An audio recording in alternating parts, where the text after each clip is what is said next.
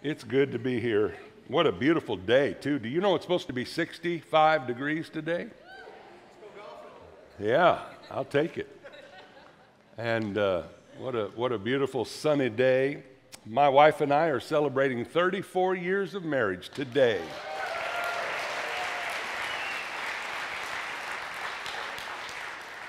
Thirty-four years ago today, she said, I do. And I said, I do too. hmm. Man, my heart's about to bust. I'm, I am so blessed. Don't you feel that way? I mean, we have challenges and problems, but aren't we blessed? Yeah, we're blessed.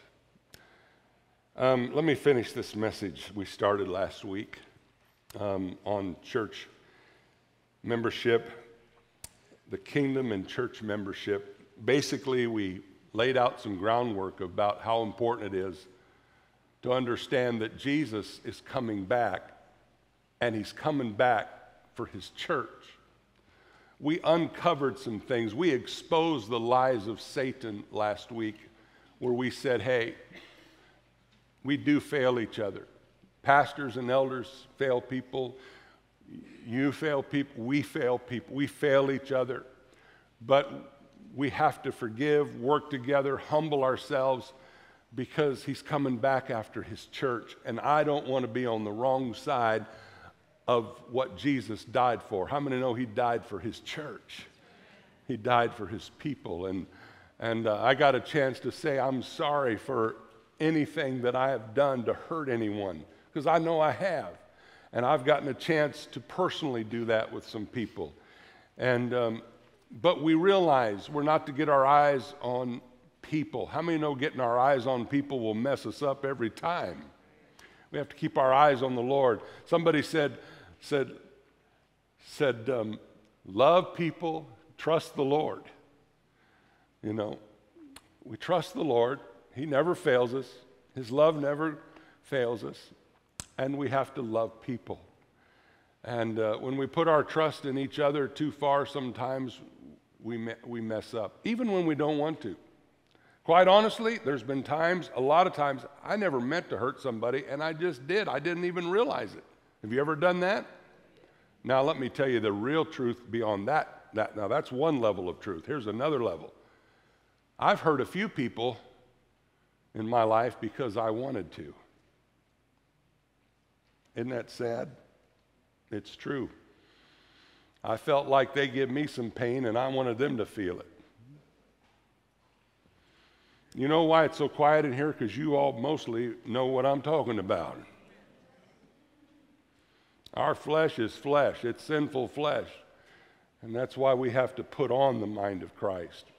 We have to walk in this thing and realize that um, we're a part of the family of God and that, that we cannot ultimately serve God alone. We need Him, we need each other to live this life that God's called us to live. So, in your outline, I'm not going to do a.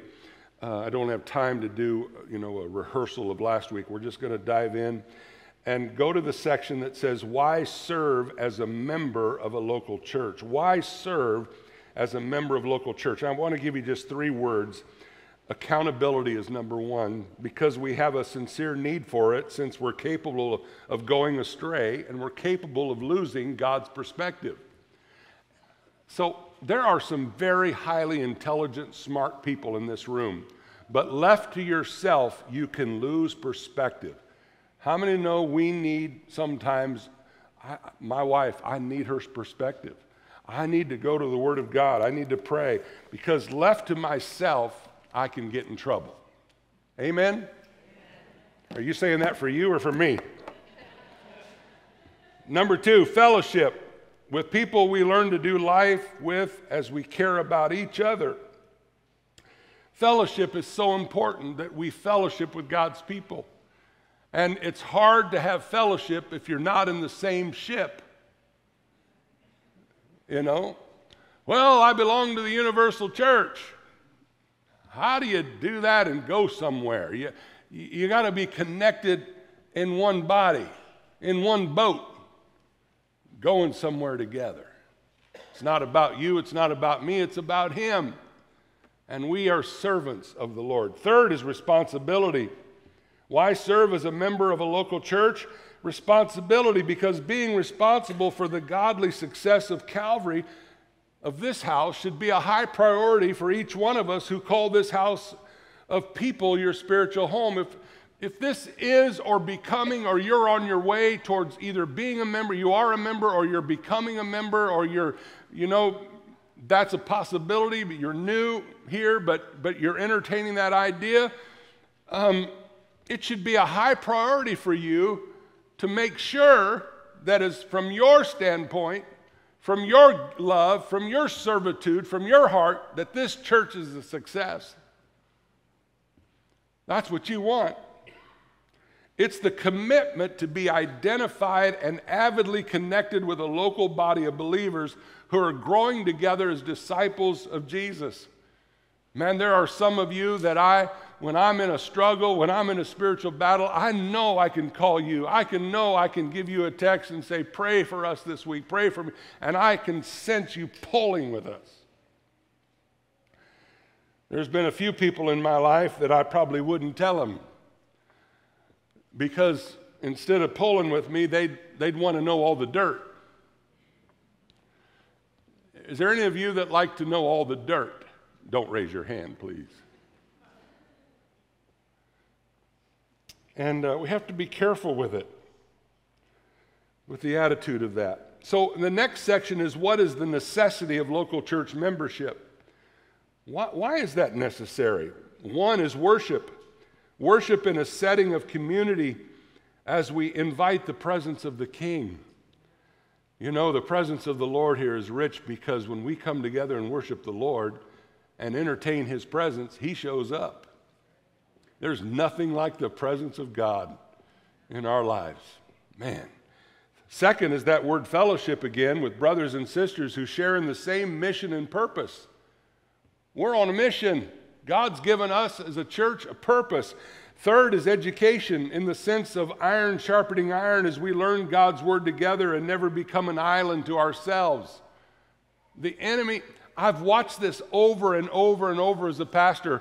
One of the first things that the enemy does when he tries to steal a brother or sister or tries to move in and, and destroy relationship is he tries to get people to become, to pull back, to withdraw, to jump in a hole, to become an island of themselves.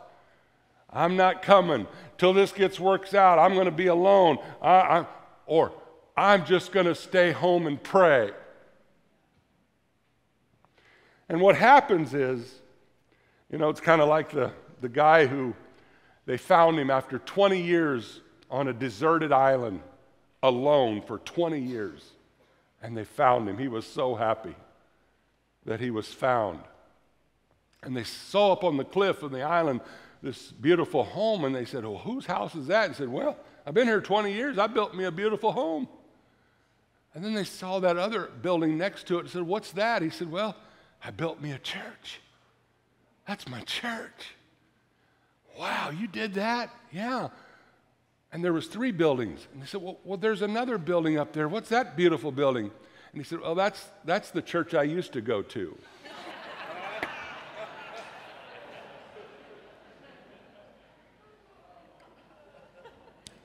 Terrible. Fourth is outreach as we take the message of the gospel to our community and the world. Without attention to these things regularly, any one of us could divert God's plan for us. In times past, we've had struggles going on here at Calvary. Can you imagine? We've had struggles here at Calvary. Hard to imagine, isn't it? You thought we were perfect, right? Amen? And enough people became occupied in some of the struggles that we've endured around here that the ministry of our church was hindered until we got through it. Each one of us has a part in making the body of Christ function here at Calvary. And the job of leaders is not to do all the ministry while the others only watch or receive it. In fact, let me tell you something else. It's not the job of leaders to even make all the decisions. We're to serve and guide and love and pray for the flock, but we've got talented people here that can make wonderful decisions. Think about Kathy and I. I, Kathy, we've been married 34 years today. And when, when we came to the Quad Cities, I was 34. And God put incredibly talented people in this house that allowed us to do things that I knew nothing about. Did God call me to be a pastor and to lead? Yeah. Did I have all the gifts to do it? Nope. I'm one guy. But God put a network of His people together. You, you think about this building you're sitting in right now. Just think about it. I came to town, I never built a doghouse before. Serious. This is a pretty incredible place if you think about it. And um, the outreaches that um, God's helped us to be a part of, the churches that are being built around the world. Uh, I was hoping today we'd get to show you some pictures. Maybe next week we, we got pictures of a church in Africa that's completely done in the well and all of that from when we sent Bob and Pat Harris and one of our elders that moved away and we had a day of rejoicing with them and we, I got an email this week just thanking God. And we even helped a pastor that's the pastor of this church bought him some land that allows him and his family to grow vegetables to self sustain themselves while they're pastoring the church. We may never meet those people. I may, I may never be inside those four walls halfway around the world. And here we are helping to plant churches in Africa and India, and we may never see him on this side of heaven. But God. Talk about the way God puts net, networks us together. And God's put people in here. Pastor Glenn would probably love to tell you about it. I don't believe he's here. Um, I got word that him and Dana be praying for them. A beloved dog of theirs they've had for many, many years, they may have to put their dog down today. It's a tough time. Been through that, haven't we, honey? So, outreach. It's unhealthy for a person to benefit from the ministry of the church and not eventually contribute what they have to offer. The engagement of so many of you is so wonderful. I look across this audience and the engagement of your love and your care and your desire for Calvary to do well speaks so highly of you. But there are some people in the church, and maybe, maybe somebody here, and if you're, if you're this person that I'm about to explain, just keep smiling. I won't know it's you.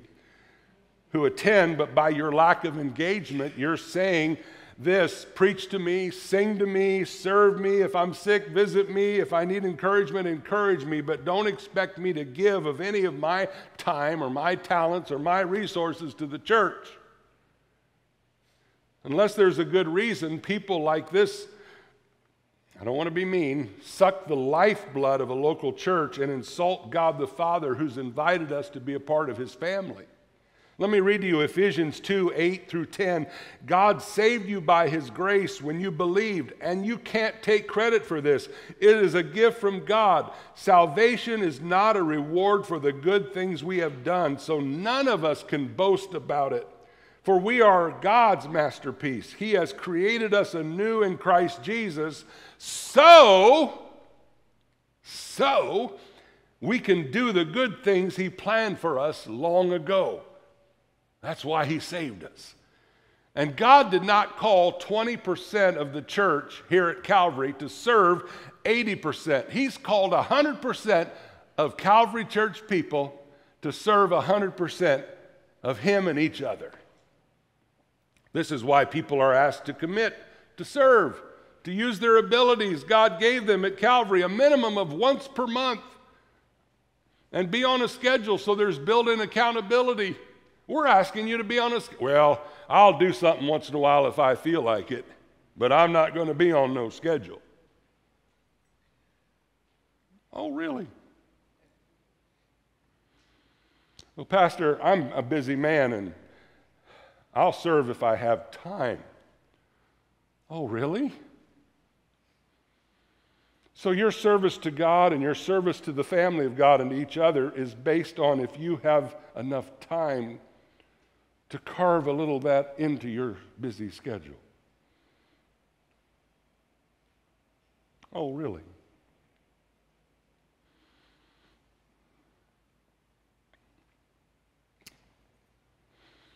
We're a family church. Four generations of people that serve God together here. We have families that are four generations sitting together in this church this morning. We've got older people that have gotten older and would love to serve and physically can't, and they get a pass. We've got babies right now that people are taking their time and would love to be in here and are in that nursery cuddling babies and rocking them and changing diapers. So some moms and dads can be in here together. We serve each other, we take care of each other, we do what it takes.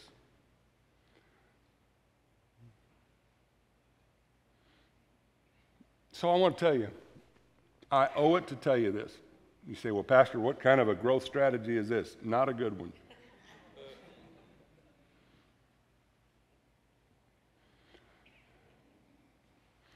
If you're here to take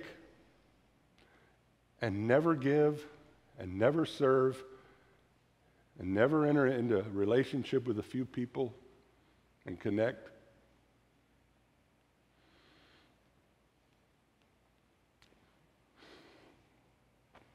Please don't stay here.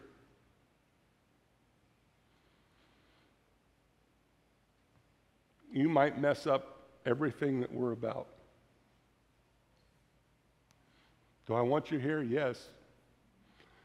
Do I want that culture to shift? Because that was me a few years ago hey, dumb this thing down, let people do whatever they want to do, let everything go, because all, it's all about counting how many, excuse me, how many butts are in seats.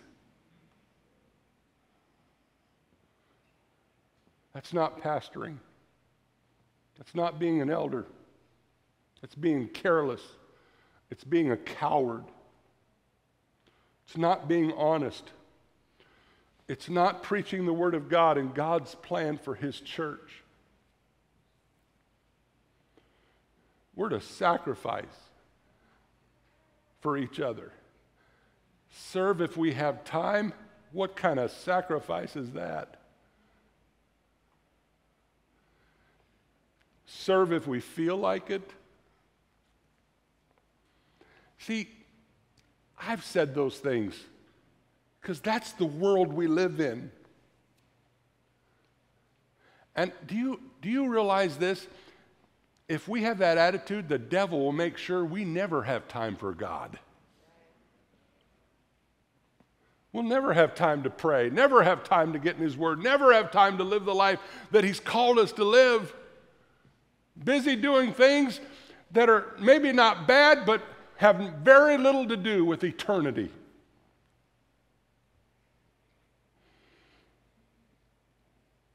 So, if you struggle with decisions that are made around here, talk to us. We might need to hear from you. You might have some valid things to share. I don't believe I've ever turned anybody away who wanted to come and talk and challenge me or the other pastors or the other elders and communicate with us instead of going sideways. We realize we are not, we are flawed men. Does everyone do this? No.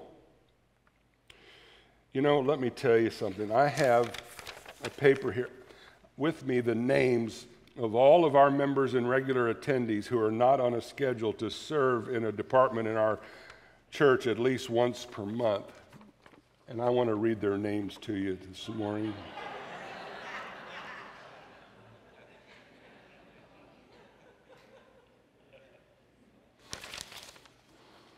No, I won't do it.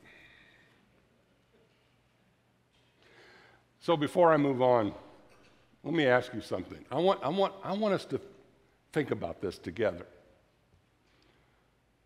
When does, when should a leader, an elder, a pastor, a mature man or woman of God, when does a leader ask hard questions because they're watching out and caring for people's souls. When do we? And when is a leader being too in your face, so to speak, and needs to let people figure it out? I mean, you think about that. If, if, a, if some of our pastors and elders are actually trying to get it right, trying to have enough prayerful, loving, serving hearts to serve the people and ask I mean, ladies, think about this. How much would you like another man in your husband's life to ask a hard question?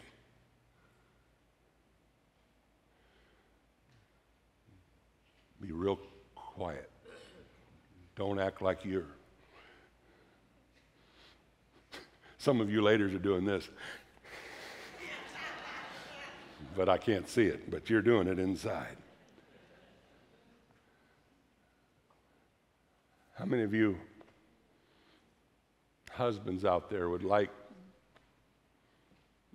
your wife to have godly relationships with other ladies in the house to where you can work on each other and become the godly woman, the godly mother, the godly wife. Men can become the godly husband.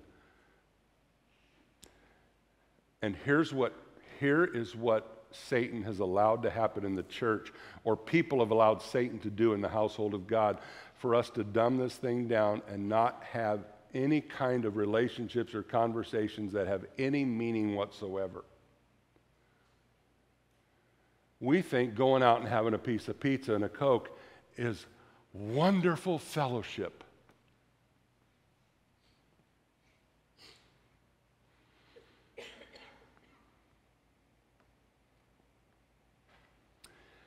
And I, Pastor, what are you trying to do? Are you trying to cause more work for yourself? Well, I guess so.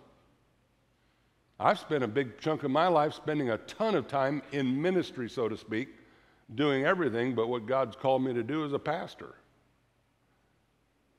See, pastors have that same problem. We have that same challenge.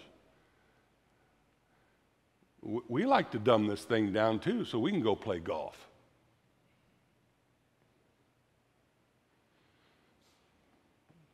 Sometimes I need a golfing buddy. Sometimes I need somebody else that's more than that or different than that. Thank God I got some men who will pray with me. There's a few men in this church that will pray with me and pray the paint off the wall.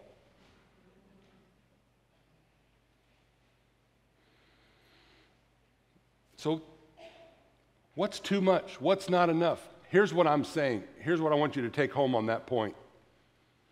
If we're trying to get it right, we'll miss it sometimes. And if you can be offended, if you're like me, I've chose to be offended sometimes. Here's a good way to live. I refuse to be offended. If I've got somebody in my life who's asking me a hard question, even if I don't like it, you know what I need to do? Thank them. Thank somebody that I have, I have a friend that is willing to risk it for the biscuit. Right? Even if I don't agree with them, thank you for caring enough. All right, let me go on. The next section. Why are spiritual gifts needed in the church body? Spiritual gifts come from divine empowering by the Holy Spirit that allow God's people to glorify Him and build up His body. Peter wrote, 1 Peter 4 10 and 11, he wrote, God has given each of you a gift from his great variety of spiritual gifts. Use them well to serve one another. Do you have the gift of speaking? Then speak as though God himself were speaking through you. Do you have the gift of helping others? Do it with all your strength and energy that God supplies. Then everything you do will bring glory to God through Jesus Christ. All glory and power to him forever and ever. Amen. A spiritual gift is an ability given by God to be used through a believer for the purpose of building up God's kingdom and maturing his body. The Bible is clear. Look at 1 Corinthians 12 7. A spiritual gift is given to each of us so we can help each other. And even if we do not know what our spiritual gift is, God knows and He'll reveal it to us. It seems, though, He only hits a moving target. I've, I've been this guy. Well, I'm going to sit down and relax and take it easy, and God, let me know when you got something for me to do. Hope somebody calls me, lets me know, because I'm off the hook until somebody asks or so, until somebody gets in my face or somebody asks me. If they don't ask me, I can't help it. God, you know I'm willing. Doom, doom, doom. Hmm. Seems like God only hits a moving target. What do I mean? We can't sit around doing nothing until God reveals it to us. What do we do? Bible says we're to wait on the Lord. That word waiting doesn't mean sit on your seat and do nothing. It means while we're waiting on God to fulfill all that He's going to do in us and through us, we're busy serving, waiting tables, waiting on the Lord, serving one another, serving God's people, serving the Lord. While we're waiting for Him to fulfill all that He wants to do through us, there are certain things we can do. We don't have to say, God, is it your will? Should I smile at that person today who looks lonely? Should I give them a warm handshake? Well, I guess if God don't tell me.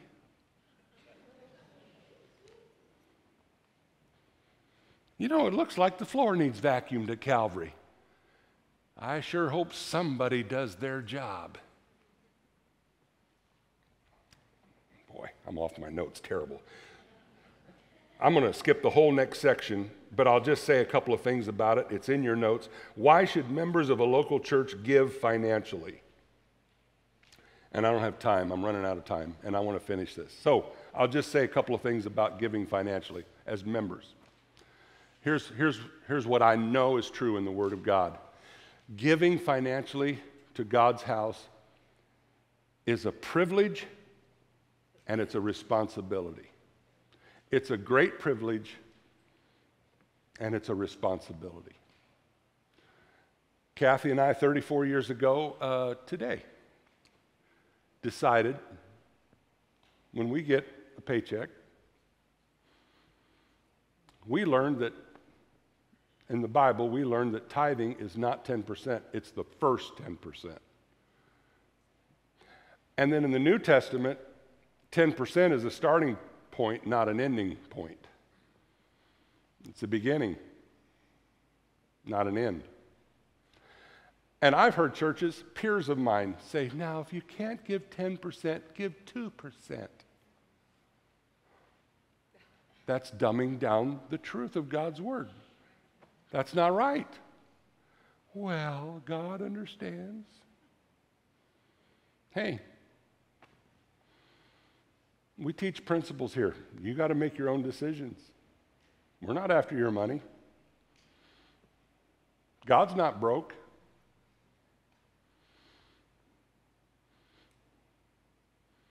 If ever Calvary doesn't make it financially, there's not an ownership problem of God not having enough money. There might be a giving problem, but there's not a ownership problem. We're not beggars. I hardly ever talk about money because, to my own fault, I don't want to be blamed as one of those money preachers.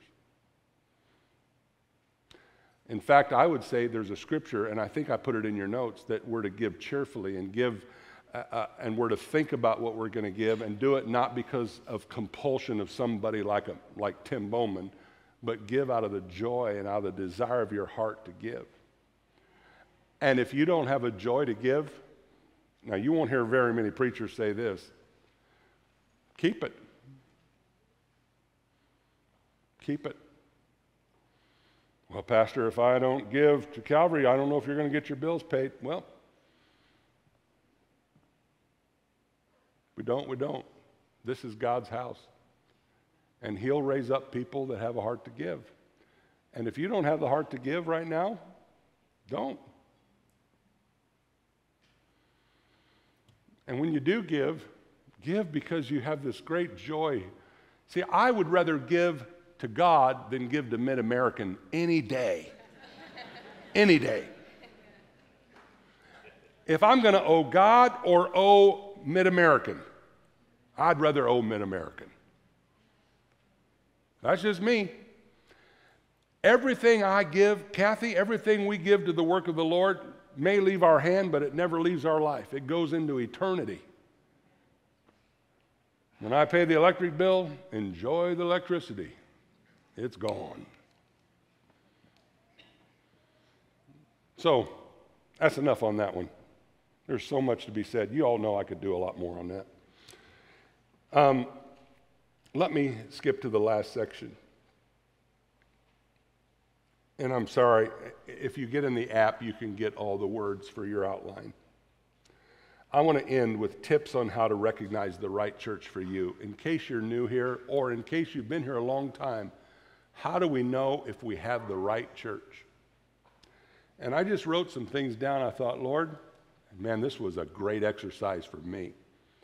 Here's what we wrote, and I'll just read it to you. It's right out of your outline. Number one, a healthy church clearly proclaims and teaches the Old and New Testaments of the Bible as the whole counsel of God.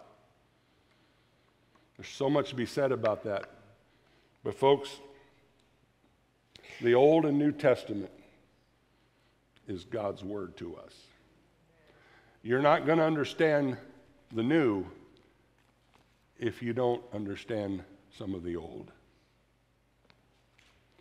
Because every page in this Bible is about Jesus. Every page is about Jesus.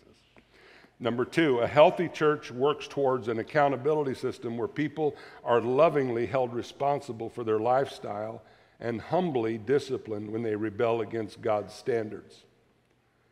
That's how you know if it's a healthy church. Pastor, are you saying that I, when I come to Calvary and I'm a part of Calvary, that if I get ready to mess up or do something that doesn't please God, that I should literally feel like there is a sense of accountability in my church that somebody might ask me something. Boy, that's what I need in my life. I need accountability. I need to know that there are pastors and elders that are not going to let me get by with something that is not pleasing to God. If they see it, they're going to question it.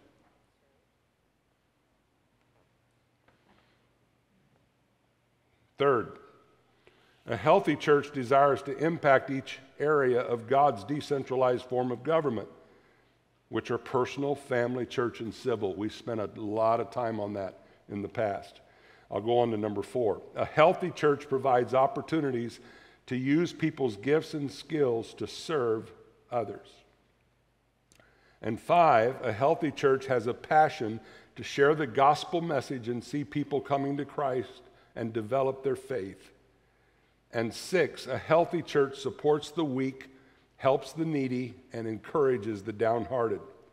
There's really nothing like a good Bible centered church, a place where eternal friends can be made with Jesus and each other, a place where the ongoing support during times of grief, tragedy, joy, or celebration are happening. So I would say keep these things in mind if you're seeking a church family. And if you're here and you're a part of the Calvary family, help to ensure that these things are a huge part of who we are every week. Only the church possesses the keys to God's kingdom to access heaven's authority in the earth. And our involvement in the local church is critical to our spiritual health. That's the, that's the section, and I skipped over a lot today, but I think we got enough of what church membership, kingdom church membership is about. Next week, we're going to dive into something brand new that I'm so excited about. But enough for today. Stand to your feet. We're going to close. I want to pray, Lord, I pray that hearts and minds are open to the understanding, Lord, that it's a great joy and privilege and responsibility to be a part of a local household of faith and to be committed and submitted to each other and to you, Lord. And I pray, Lord, that we will grow in these things and that you will have your way in our hearts and we will not fall prey to the culture of the world that we live in, where we are independent of each other, and that success, the world says success means that you can do what you want, say what you want, go where you want. That is not success for a, for a child of God. We belong to you. Your spirit orders and directs our steps. And Lord, we thank you for that privilege. Amen and amen. God bless you all. You are dismissed. If you need prayer,